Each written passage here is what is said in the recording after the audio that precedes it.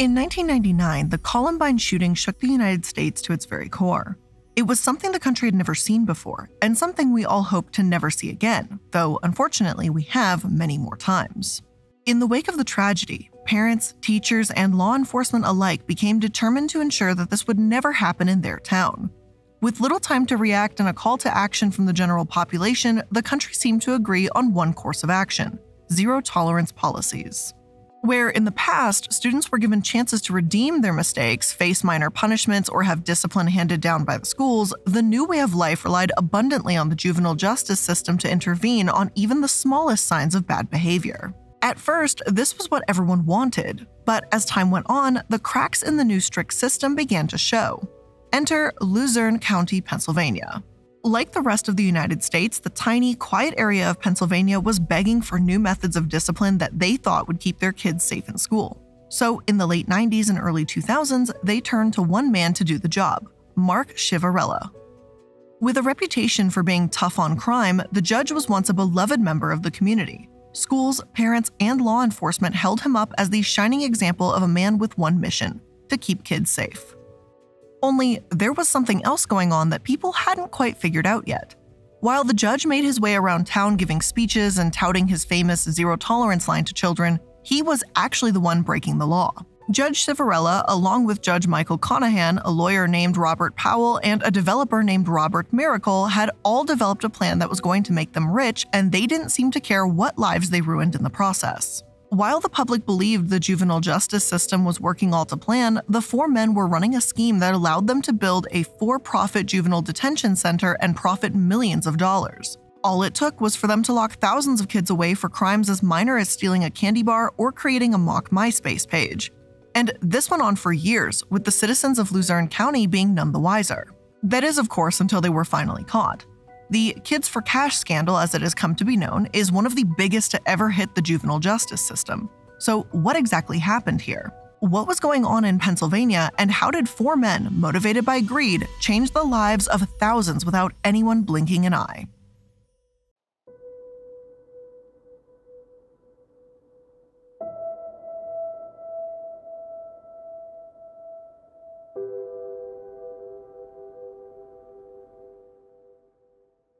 Hello, and welcome to Multi-Level Mondays. I'm the iilluminaughtii, and today we're going to be discussing the massive Kids for Cash scandal that shocked everyone. The nearly two decades long story is full of twists and turns that are sure to leave anyone with their mouths on the floor wondering how can anyone be so corrupt? First, let's start with the victims, the kids. Now, please be advised that the next couple minutes will describe stories involving minors that may be difficult for some to hear and brief mentions of suicide. If that's too much for you to hear at the moment, feel free to skip ahead to the next chapter. Now, when Hillary Transue was 14 years old, she created a prank that she believed to be harmless. Never in her wildest dreams would she expect what came of it. One day, she went on MySpace, posed as her vice principal, and made fun of her strictness. Below the hoax, she posted a disclaimer, making all aware that this was in fact a joke. She wrote, When you find this, I hope you have a sense of humor. Unfortunately, it turned out that people did not have a sense of humor. Shortly after Hillary posted her MySpace page, her school called the police and she returned home to officers knocking at her door. This is where Hillary's life changed forever. Like everyone in the United States, she was entitled to a lawyer. However, her mom had been assured that there was no need for her to have representation. They claimed this was going to be an easy open and shut case, and they told her she would likely only get probation. Nothing to worry about. So, Hillary's mom, scared for her daughter's future, decided to trust the police officers and became one of the many parents at the time to sign a waiver denying legal representation designated specifically by Judge Ciavarella. During the time that he ran the courtroom, over 50% of cases were completed without representation. Scared out of her mind, but feeling assured that she would be okay and the judge would do the right thing, Hillary entered the courtroom. Her hearing for her crime of making a joke on MySpace about her school vice principal lasted only one minute. Lauren Tran Hillary's mother, remembers the moment vividly and she says, Ciavarella slammed his hand down on the desk and said, What makes you think you can get away with this crap? When I turned around to look, Hillary was gone. It was almost like she evaporated. 60 seconds. Just keep that in mind. One minute. That's how long it took for their lives to be changed forever. Frantic and confused about what just happened, Lauren called the Juvenile Law Center in Philadelphia. Three weeks into Hillary's sentence at a juvenile detention center, she was released. But this didn't mean she could just leave everything behind her, because she was still on probation. It hadn't all just disappeared. In her mind, she felt like she was one of the bad kids who deserved what happened to her. Weeks after leaving, she was in the party scene, she says. I hung with a crowd that smoked pot and drank. I had to get on camera and pretend to be this person I really didn't think I was. We'd laugh about how we had everyone fooled about what good kids we were when we were really just terrible people. Now, obviously, Hillary is clearly not a terrible person. She's just someone who did a prank at 14, but it has taken years for her to just leave her past behind. To this day, she still struggles with what happened to her. Unfortunately, Hillary's story is just one. While Mark Ciavarella and Michael Conahan remained judges in Pennsylvania, they placed over 2,000 kids into the juvenile justice system. Each case you read is more heartbreaking than the last, might I add. When Melanie Petrillo was only 12 years old, she found herself in front of Ciavarella in juvenile court. According to her story, the judge didn't even allow her to speak during her hearing. And what was her crime, you might ask? Well, one day a friend visited her house. The visiting friend set a small fire in the garbage can placed outside of Melanie's house, and by the time she had gone inside to get a glass of water, the police had arrived. Melanie was arrested and sentenced to a juvenile detention center for months. She describes her time as saying, It was horrifying. I had to put a blanket over my head so the cockroaches wouldn't fall on me. Her entire life was turned upside down. She would appear in front of the judge two more times, spending the majority of her childhood in juvenile detention centers. For her, the run in with Ciavarella and her subsequent incarcerations screwed up her life. All for someone else deciding to set fire to a garbage can, might I add. Zachary Richards was sentenced to juvenile detention after stealing a Hershey bar. From 14 to 18, he found himself in and out of juvenile detention. Sadly, at the age of 27, Zachary took his own life. Unfortunately, he's not the only one. Edward Kenzakoski was 17 when he was arrested for a minor drug paraphernalia charge. With no prior criminal record, he was sentenced to months at the private lockups and a wilderness camp. He missed his senior year and a chance at a wrestling scholarship. After years of suffering from depression, he committed suicide at age 23. Unfortunately, these are just a few of the thousands of stories out there, thousands of lives ruined. So, what was going on in this tiny town of Pennsylvania where kids suddenly had their lives flipped upside down? Why the hell was this happening?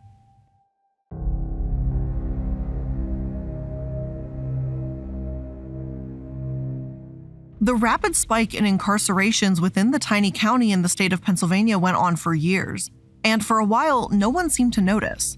One by one, thousands of kids' lives were changed forever, and it's all thanks to these four people Mark Ciavarella, Michael Conahan, Robert J. Powell, and Robert Miracle. Judge Ciavarella gained power in Pennsylvania shortly after the horrifying shooting at Columbine. In a time when schools, towns, and parents were scared about the safety of their children, zero tolerance policies began to rapidly spread across the country. Now, simple infractions like pranks or fights were treated as criminal offenses rather than instances that could be handled in school. In Pennsylvania, Judge Ciavarella was a perfect choice, they thought, for this newly developed approach to juvenile issues. He had proudly announced that he was zero tolerance, that he would allegedly do anything to keep kids safe. And at first, no one batted an eye at his high conviction rates, thinking that this was what was best for the community. He was often invited to speak to students within the schools in the county. There, he would warn the kids if you come before me, I will send you away.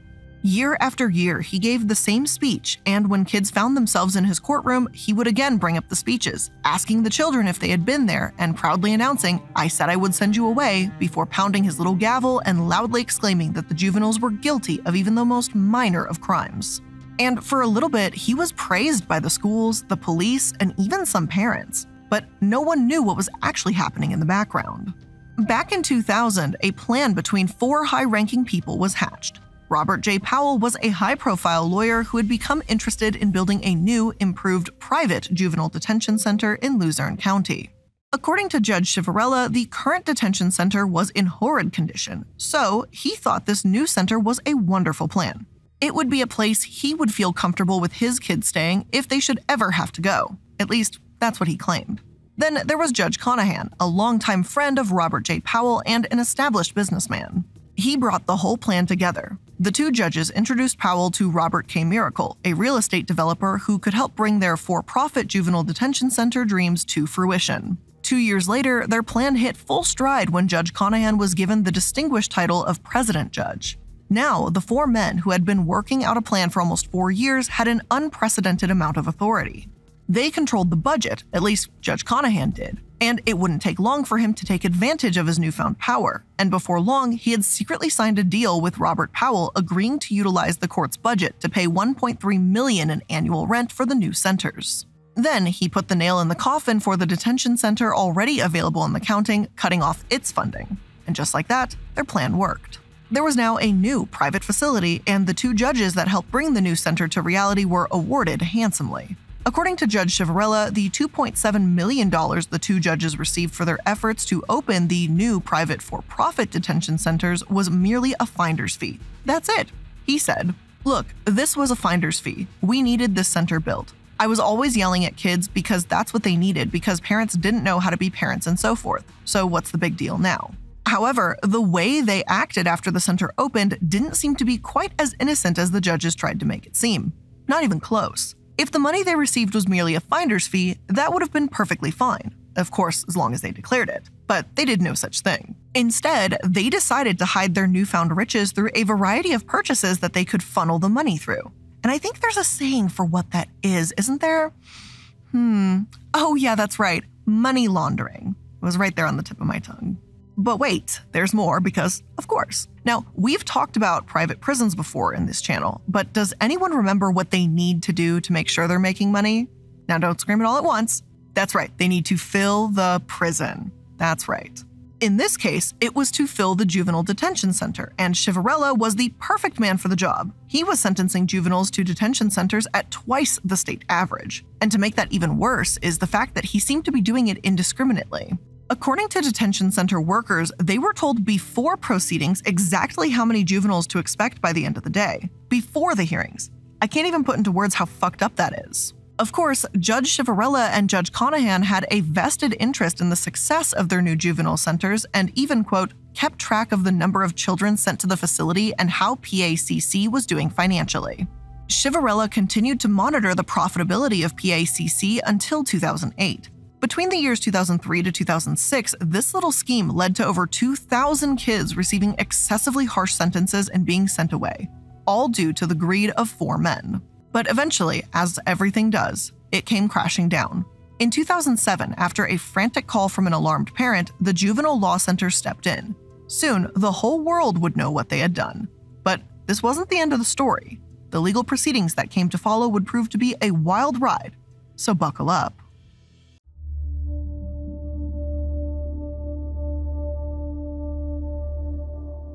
In 2007 and 2008, the Kids for Cash scandal began to come crashing down. As the Juvenile Law Center began its investigation, the FBI soon joined them.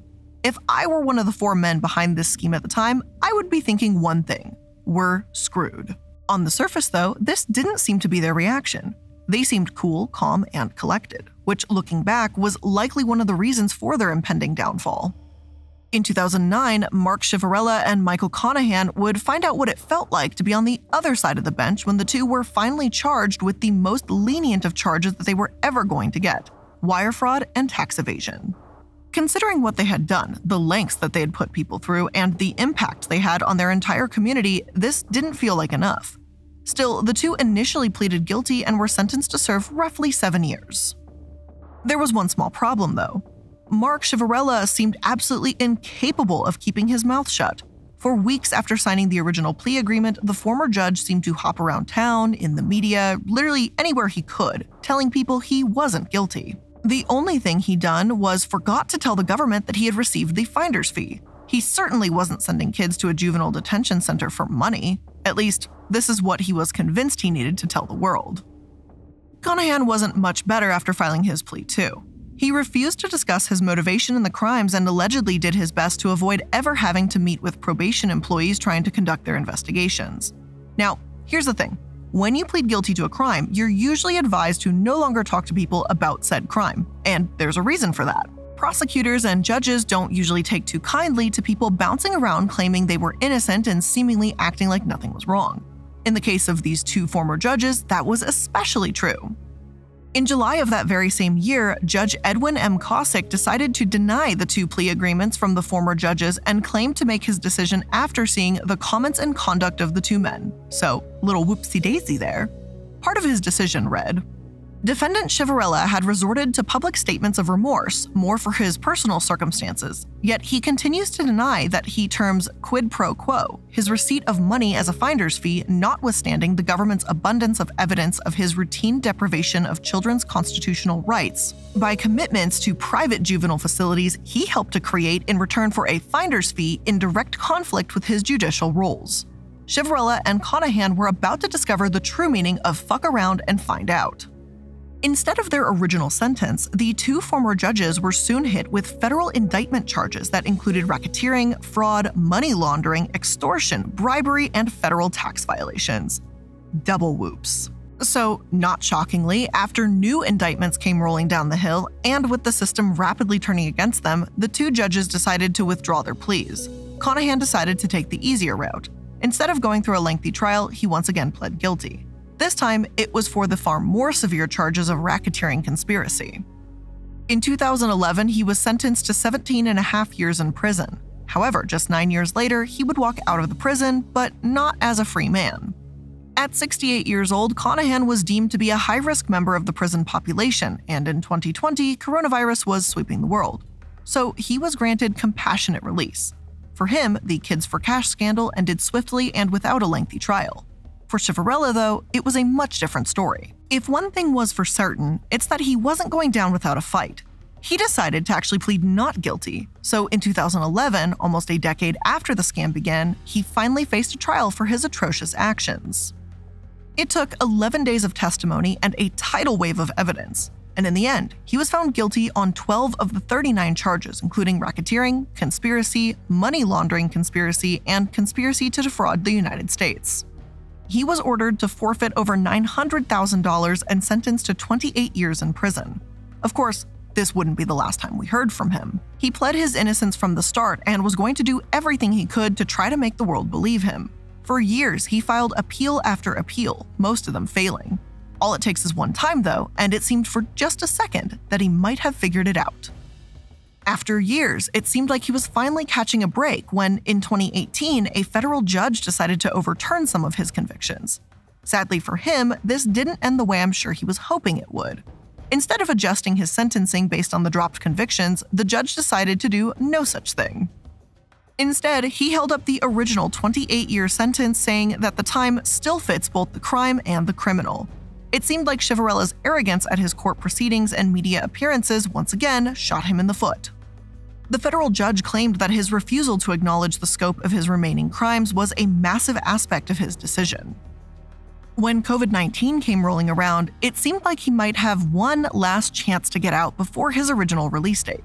Like Conahan, Ciavarella was getting older in prison and was also considered to be high risk if he were to catch the virus. He claimed that the staff and his case manager had both selected him to participate in the early releases scheduled during the pandemic, but the warden refused. So the former judge once again found himself at the federal courts. Again, he was denied. Why? Well, because he, quote, continues to downplay the seriousness of his criminal scheme. And that was his last chance. And once again, it seems like his attitude could have blown it. It marked the end of the criminal proceedings. But while you would think this would be the last you heard of the Kids for Cash scandal, there was more. While putting people in prison for their actions may feel like justice has been reached for some, that's not the case for all. And the kids and the parents who had been undoubtedly impacted by the greed of these four men, it just wasn't enough. So a slew of civil suits came streaming down, and this time, the men behind the scheme would have to pay, and not just with their freedom, but with some cold, hard cash. And before we go to take a look at those civil suits, I'm just going to take a moment to thank today's sponsors. Today's episode is sponsored by Honey, the easy way to save when shopping on your iPhone or computer. Now that the holidays are starting to wind down, you may have gotten some great deals. But do you feel like maybe you could have saved just a little bit more? Well, maybe you should have been using Honey. And that's because thanks to Honey, manually searching for coupon codes is a thing of the past. Honey is the free shopping tool that scours the internet for promo codes and applies the best one it finds to your cart. All you do is shop on your favorite sites, and at checkout, the Honey button appears, and all you have to do is click Apply Coupons, wait a couple seconds, and if it finds a working coupon, you'll watch prices drop. You guys know one of my favorite ways to use Honey is for getting coupons on pizza, which, by the way, many coupons on pizza. Almost every time I play a D&D session with friends and I get to order pizza, I'll always get like a 15%, 20%. I even got a 30% coupon like a couple weeks ago. That was very nice. And Honey doesn't just work on desktops, but it works on your iPhone too. Just activate it on Safari on your phone and you can save on the go. So if you don't already have Honey, you could just be straight up missing out. And by getting it, you'll be doing yourself a solid and supporting the show. So get PayPal for free at joinhoney.com slash MLM. That's joinhoney.com slash MLM. Now, self-care is always pretty much top of mind for me. But in between meditation sessions and trips to the yoga studio or nail salon, how often are you taking care of all your needs? Well, if you're even wondering about that for even a split second, maybe you should take a look at today's sponsor, Dipsea. Now, Dipsea's been sponsoring the channel for some time now, and many of you know that Dipsea is an app full of hundreds of short, sexy audio stories that are designed by women for women. But did you know that Dipsea does a little more than that? In addition to new content that's released every single week, they also have sleep stories, wellness sessions, and even stories that you can read. So even if you're not in the mood to get a little bit spicy, you can listen to something while you go to sleep, which, by the way, very relaxing. I don't know if any of you all are into that, like just kind of listening to someone softly talk about something while you go to sleep, but Dipsea has got you covered if you are. And for listeners of the show, Dipsea is offering an extended 30-day free trial when you go to dipseastories.com/mlm. That's 30 days of full access for free when you go to dipseastories.com/mlm. dipseastories.com/mlm.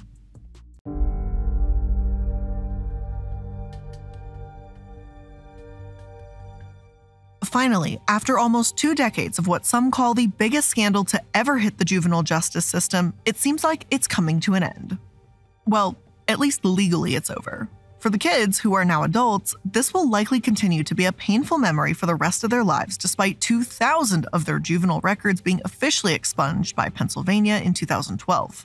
For the four men involved in creating the scandal and ruining thousands of kids' lives, though, their cases are over. In 2011, the builder, Robert K. Miracle, settled his civil lawsuit with the juveniles who had been impacted by the scheme. He agreed to pay $17 million to those impacted. Then, four years later, in 2015, Robert Powell, the man who some argue started it all, reached an end to his civil lawsuit. In the end, he was ordered to pay $4.5 million to the 2,400 juveniles who had appeared in front of Ciavarella between 2003 and 2008. In his trial, he testified that he had been forced to pay thousands of dollars to the two judges in exchange for their support of the two juvenile facilities. I don't know, like, honestly, how much of that had been, like, you know, forced, but I digress. It doesn't ultimately matter, I guess. So that leaves us with our final two monsters. After an insane array of legal proceedings and a seemingly endless amount of litigation, the tale of the two judges that started this all is finally over as of August of this year. As with the other two members of the infamous Kids for Cash scandal, both of the former judges found themselves facing civil lawsuits from the children involved. For them, the civil suit started in 2009, right as their federal indictments came crashing down. The fight for some sort of justice or reparations for the pain they caused thousands of families was long. Over time, the judge proceeding over the civil case heard over 300 different survivors, each more heartbreaking than the last. For the kids, the pain still seemed fresh, as many had attempted to bury their past in their minds, and now they had to bring it back up. One kid who testified told the morning call I kind of buried my emotional trauma and I tried putting everything behind me. You can't really move past something unless you either fix the problem or you bury it deep inside. So I just kind of buried my problems. So this kind of brought that back to light a little bit. The civil proceedings also brought to light the horrifying truth about what happened to the children after the scheme was over. 65 of them had dropped out of school, others suffered from depression, anxiety, and post traumatic stress disorder, and many are now struggling with addiction. All of this because some people just wanted to make money. After years of reliving the trauma, court proceedings, and an onslaught of constant media coverage, the case finally came to an end with closing statements in October 2021. Finally, it was over, and all that was left was to wait. At long last, a decision was announced in August 2022 ordering the two former judges to pay over $200 million. And that seems like a victory, right?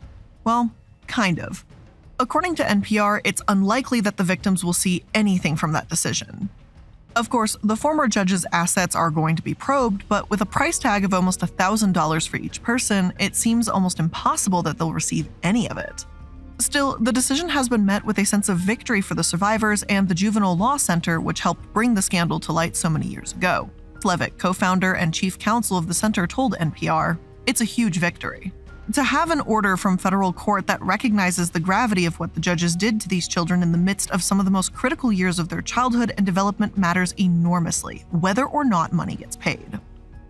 With all of this coming to an end, it's easy to feel a sense of vindication. But the Kids for Cash scandal didn't only bring to light the corruption and dishonesty of four men, it brought to light the atrocities of the juvenile criminal justice system in the United States as a whole. None of this would have been possible without the sudden uprising of zero tolerance policies that the four men used to explain away their corruption. What was championed as a way to keep things safe seems to have done the opposite. It developed what people now call the school to prison pipeline. Now, when kids get in trouble at school, it becomes a legal matter rather than school discipline.